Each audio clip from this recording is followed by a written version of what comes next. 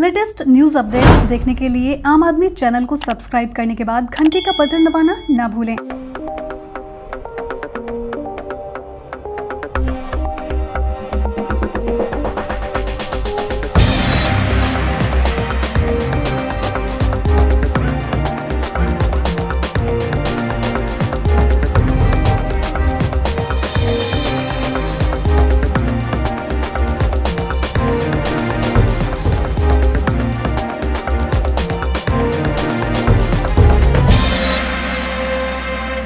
ये Eiffel tower आप देख रहे हैं। ये पेरिस वाला एफिल टावर नहीं है और ना ही उतना बड़ा है।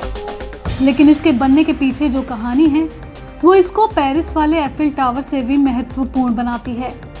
तो आइए जानते हैं इसके पीछे की पूरी कहानी। कहा जाता है कि एक पिता अपने बच्चों के लिए क्या कुछ नहीं करता और उसके अपने बच्चों के लिए कुछ भी कर गुजरने की कोई सीमा नहीं होती।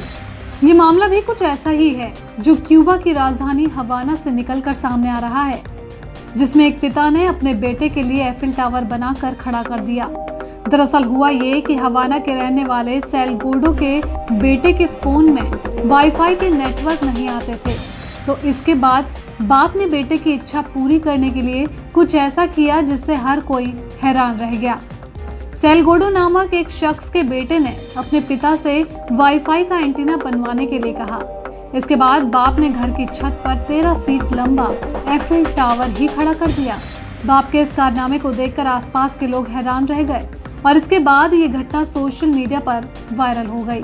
गौरतलब हो कि सेलगोडो अकाउंटेंट का काम करते हैं, लेकिन जब बेटे की इच्छा पूरी करने की बात आई तो खुद उन्होंने अपने हाथों से लोहे का ये एफिल टावर घर पर खड़ा कर दिया।